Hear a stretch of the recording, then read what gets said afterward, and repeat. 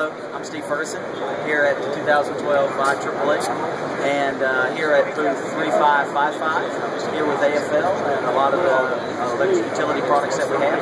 I'd like to walk you around the booth a little bit. Hopefully you can stop by and see a lot of the products that we have for electric utility. So certainly uh, from a uh, for our wire products we have Alumoweld, uh, which is aluminum clad steel uh, construction as well as copper weld for uh, electric utility grounding. Uh, we have a full supply of uh, product and also uh, samples for you to look at and see.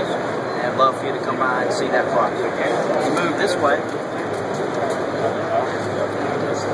you've got our transmission and distribution product line, including our get in the, get in the picture there. including our uh, full line of transmission compression, uh, impact, which is our implosive compression, as well as our Hybus conductor series, which is our suspension units.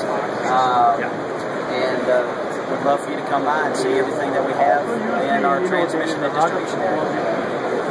If you move around to this side,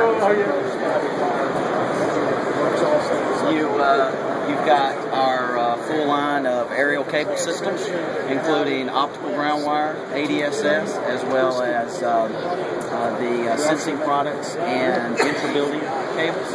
Additionally, we have a full line. We're the only uh, optical cable manufacturer that has a full line of integrated hardware, including optical ground wire dead ends, suspension units, splice boxes, as well as ADSS product. We also have our conductive Clean product, a, uh, a very safe and effective way of cleaning uh, uh, conductor instead of using wire brushing.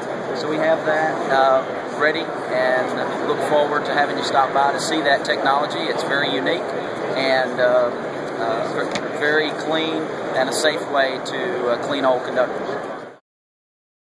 Our uh, low voltage bronze as well as uh, bus supports, uh, Uh, pads, terminals, and uh, this is part of the overall AFL Dossert line.